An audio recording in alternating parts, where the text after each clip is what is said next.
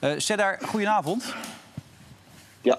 Ja, je bent er. Goedenavond. Hey, goedenavond. Uh, wat, wat, wat vind je van al die uitspraken die over je heen zijn gekomen?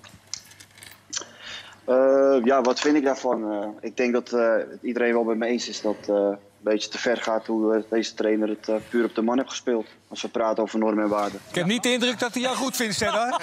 nee, dit, ja, ik, dit is echt, we lachen hier dubbel, laat ik het zo zeggen. Dit is, je mag best wat emotie tonen, maar kijk alsjeblieft naar zijn uitspraken, mimiek, de manier hoe hij praat. ja, het zal niet de eerste keer zijn. Het zal volgens mij de derde keer dit seizoen. En ik heb die man nog nooit één op één gesproken. Hij noemt dingen dat ik denk van ja vriend, je kent me amper.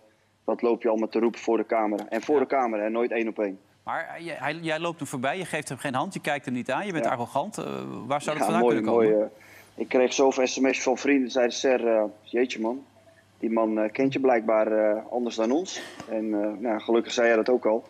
En Bas ook al. Die man die roept dingen, die trainer, dat ik denk van ja, zo ben ik niet en uh, zo, zo, ken ik mezelf ook niet. Maar ga je, wel, ga je wel voor de wedstrijd, geef je hem gewoon een hand? Oh, hoort maar niet. Nee, maar Hans, ik loop tien minuten daar met uh, Brian Lins te praten. Johan, of, Leo Dries, Frank Snoeks. De assistent-trainer van Vitesse komt nog even naar ons toe, geven een handje.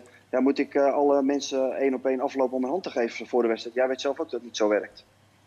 Maar vinden jullie hem arrogant bijvoorbeeld? Nee, helemaal niet. Integendeel. Ik herken hem ook helemaal niet in die uh, woorden van uh, Slutsky. Maar het ergste is dat hij uh, eigenlijk impliceert dat, Slu of, dat Serdar bewust Vitesse probeert te naaien. Nou, ja. dat kan ik me niet voorstellen.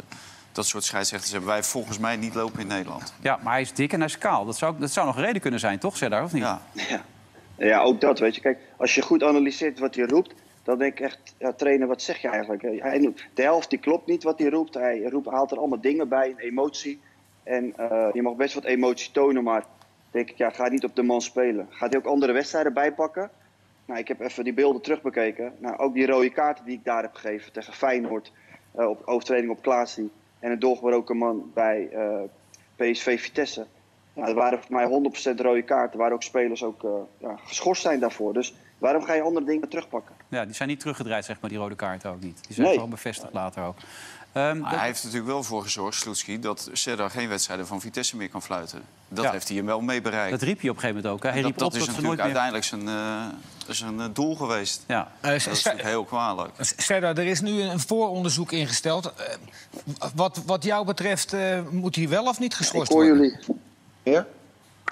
Oh, valt even weg. Dat is een beetje Johan Derksen dit. Of uh, sorry, Jan Boskamp, Jan Boskamp dit. Hè? Ja, Jan Boskamp. Die kan hem ook niet altijd vasthouden. Hoort de, hoor je ons nog weer, Serdar, of niet? Hij is ons even kwijt. Het is wel opmerkelijk trouwens. Want het is een geweldig lieve man, dat vinden we allemaal. Hè. Maar in, in, in, Rusland heeft hij een kleine reputatie opgebouwd. Hij was op een gegeven moment bij Olympia, geloof ik, uh, te, ja. En toen heeft hij de scheidsrechter een keer even neergeslagen. Ja, neergeslagen gewoon, ja. hè? En ook een half jaar uh, ja. moeten zitten. Ja. Ja, Daar is hij voor vrijgesproken, hè? Dat was ook een hele slechte scheidsrechter.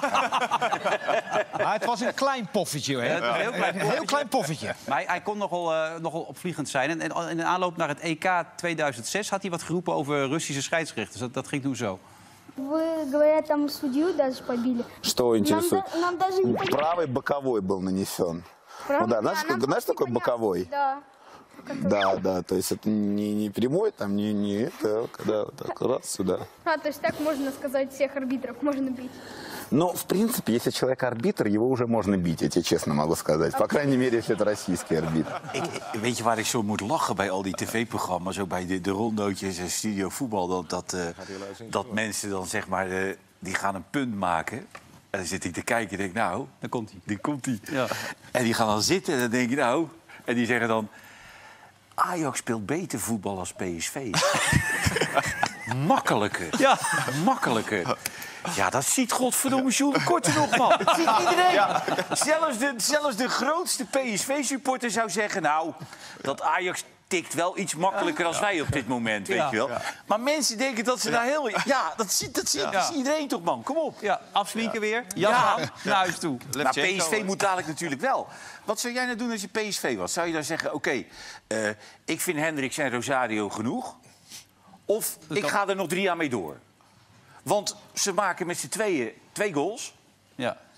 Je koopt er niks voor. Je hebt, ja, het mag Nee, wel- en het, gevaarlijk. En dus, beetje- dus ja. je gaat op een gegeven moment zeggen... ja, wat gaan we ermee doen? Ja. Gaan we ermee... Want je weet wat je eraan hebt. Niks. Ik, nee. Ja, nee. nee, maar als ik ze zo ziet voetballen, denk ik, prima. Hè, een beetje tegen hun plopvond aanhangen, weet je wel. Die Rosario doet verder niet zo heel veel verkeerd. Ik zie hem ook niet veel dingen doen waarvan ik denk... hmm. Nee. En, en dat geldt voor, voor Hendricks ook. Ik ga even Serdar bedanken als hij zijn beeld te goed op zou Is goed, Serdar, Arjen. ontzettend bedankt. Goed dat je even gereageerd hebt en eh, tot later. Hè? Goedjes. Jo, Oké. Voor meer leuke video's abonneer je dan op ons YouTube-kanaal Veronica Inside.